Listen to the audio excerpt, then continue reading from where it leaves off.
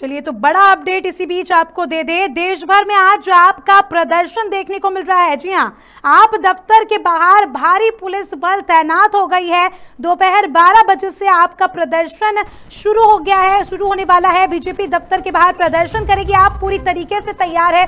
उग्र प्रदर्शन इनका देखा जाएगा। मनीष सिसोदिया की गिरफ्तारी में विरोध जताएगी गया बारह बजे आपके सारे कार्यकर्ता प्रदर्शनकारी इकट्ठे हो जाएँगे और देश भर भर में ये प्रदर्शन किया जाएगा। जैसा कि आप सभी को पता है कि बीते दिनों से ही जो है आप पार्टी में रोष व्याप्त है। मनीष सिसोदिया की गिरफ्तारी वजह बताई जा रही है। इसके कारण आप कार्यकर्ताओं में काफ़ी ज़्यादा रोष देखने को मिल रहा है और उसी का नतीजा है कि आज देश भर में आपका उग्र प्रदर्शन देखने को मिलेगा।